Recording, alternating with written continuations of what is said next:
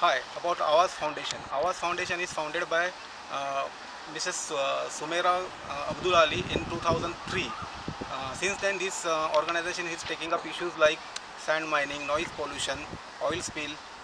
Uh, they have been fighting uh, with government and other agencies who are causing damage to environment. Now we are at Kalwa Reti Bandar where sand mining activities are taking place.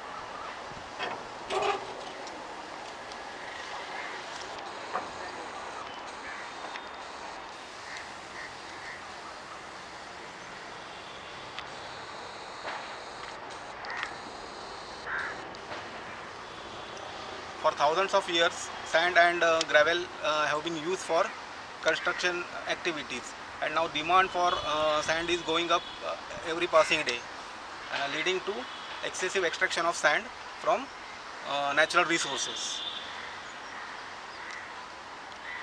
This excessive extraction, this excessive extraction can lead to uh, damage of uh, aquatic habitats then uh, it can uh, lead to bot- um, bottoming of uh, river.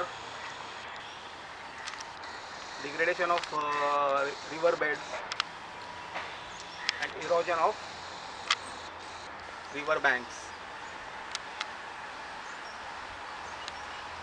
This will uh, this can also affect uh, nearby structures bridges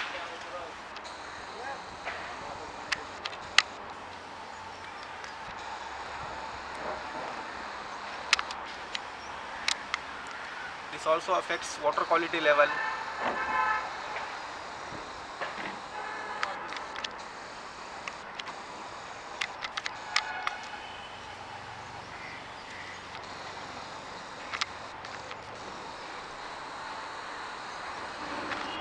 We have to carefully uh, do all these activities, activities because we cannot, ca- cannot avoid sand mining. It is, it is to be done with in a responsible manner with uh,